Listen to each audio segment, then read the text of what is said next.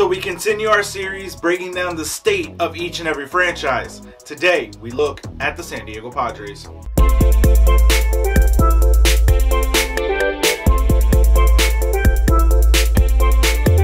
What's going on, baseball fans? Jeremy Laracuente here for the Baseball Banter broadcast. And as I said in the open, we will be discussing the state of the San Diego Padres. Now, when looking at the Padres franchise, we have to start with the biggest news and note about this team. Fernando Tatis Jr. is set to miss some time at the beginning of the season due to a fractured left wrist caused by one or several motorcycle accidents in the offseason.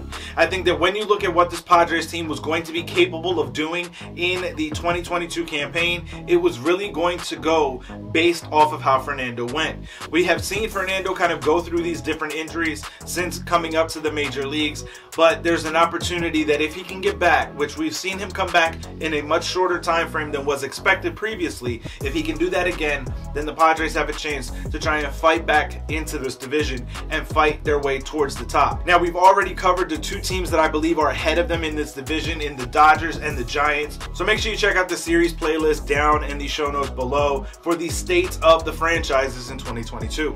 Now, as we look at the acquisitions that were made by the San Diego Padres this offseason, there's three acquisitions that I really want to discuss. The Yankees would send Luke Voit, a powerhouse first baseman slash DH type, over to San Diego. This is going to be a player that absolutely is going to flourish and thrive in San Diego, in my opinion. I think that he's going to be able to go in, play every single day for the Padres, whether it be at first base or as that DH role, and be able to put up a monstrous, monstrous campaign. I have a bold prediction that directly ties to Luke Voit that I'll give you a little later on in this video. One of the other acquisitions that were made was another first baseman DH type in Matt Beaty from the Los Angeles Dodgers. Now, in division trades are a little bit strange sometimes, but to me, this was a surplus that the Dodgers had that they sent away to the Padres. Now, what makes it so interesting to me now is that the Padres have three first basemen on their roster between Beaty, Voit, and obviously Eric Hosmer, who they paid quite a bit of money to several years ago. Now, the last acquisition that I want to talk about for the San Diego Padres was the acquisition of catcher Jorge Alfaro from the Miami Marlins. I think there's an opportunity here for Alfaro to really stick in San Diego and put up a very good solid season for this team in 2022. I think that he's going to be looked at as an underrated performer in this lineup, but have the ability to really really give this team some needed offense at the bottom of their order. Now, as we look at the state of the pitching for this roster, I think that it is actually going to grade out as a B+. plus. We have some big names like Yu Darvish, Dinelson Lamet, Mike Clevinger is coming back from injury. So there's guys to be excited about. Obviously, as with every team in Major League Baseball, everything is predicated on health, and they're already dealing with a blow to the offensive lineup that we'll get into in a moment. But when you look at what this pitching staff is going to be able to do, to me, that starting rotation is really where they're going to really put all of their emphasis. They have Blake Snell, who's probably going to be the ace of this staff, right behind Yu Darvish, as a 1 and 1A type of scenario. I also think that there are some young guys like Mackenzie Gore who could really come up and make a big, big impact for this San Diego Padres team. The reason why it's not a surefire A plus level pitching staff is because there are serious questions to me in that bullpen.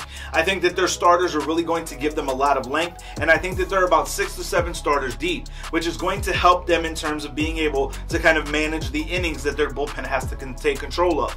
But as we know the way that the game is headed, there's a lot more to the bullpen attack than just rolling out six or seven starters. So for the Padres to be successful for me in 2022, it is going to come down to their starting pitching. If they can have good solid seasons across the board from their starters, this is going to be a very interesting team to watch as we look at the state of the offense for the San Diego Padres, there's a lot to like about this lineup, even without Fernando Tatis Jr. in it to start with. Now, let's be very, very clear. Without Fernando, I don't think that this lineup truly has what it takes to fight against the powerhouse top of this division in the Los Angeles Dodgers.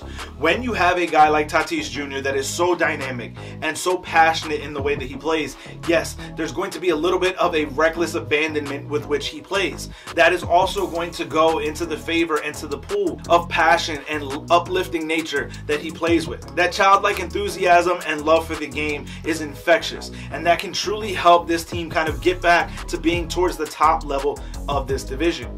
But again, the biggest thing that I have to say is with the fact that Fernando is going to be out of action for at least a month or two, this is really going to hurt the chances for the San Diego Padres. There are definitely powerhouse people in this lineup. Luke Voit to me, and I'll get to that bold prediction just a moment, is going to have a monster campaign. Manny Machado is always amongst the very best in the game, in my opinion. And while I do believe that the Padres could use some more help throughout that lineup, most notably in the outfield, in my opinion. I think that there are going to be some opportunities to kind of platoon guys in this outfield for the San Diego Padres. I think that overall there is going to be a positive feeling about this lineup. Overall, their offensive grade for me right now is a B for that offense. I think that it ticks up a bit more once Fernando gets back. Now, as we look at the state of the franchise overall, I think that they're in a good spot. I don't know that they necessarily are going to be able to compete against the Dodgers to begin the season. I don't know that by the season's end that they'll be there either,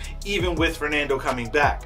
I think that there's an opportunity for the Padres to start to make some headway towards the top of that division and creep up on the Dodgers and past the Giants, but I don't know that they're going to have enough of that just yet. I think this is going to be a B grading for me when it comes to this franchise. I think there's an opportunity that they may make some moves to try to free up some space in terms of their payroll to be able to make some other moves come next offseason. But now, as far as that bold prediction and when it comes to Luke Voit. I think Voit is going to have a monster season for the San Diego Padres. I think playing out in sunny San Diego is really going to allow Luke Voit to stay healthy, which is going to be the biggest key for him. I also think that San Diego plays him more at the DH role than in the field at first base.